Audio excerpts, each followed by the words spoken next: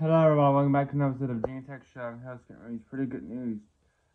Three-star defensive end Jason Abbey, I think his name, has committed to Virginia Tech. He is the class of 2023. He will join Lance Williams, a class of 2023, the second man. He is 6'4", 14, 15 pound defensive end.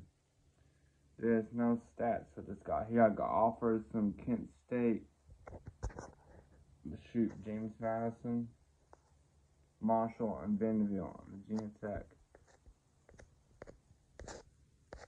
First, he, first, he likes to say on Twitter, first, I want to thank God for giving me the ability to play amazing sport. I want to thank my family and friends and the coaches for showing me the love and support every day for the football journey. I can be proud to announce that I'm a commit to Virginia Tech for sure for football and after in career at the Hokies.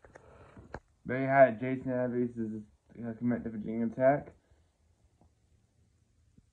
Again, there's no stats.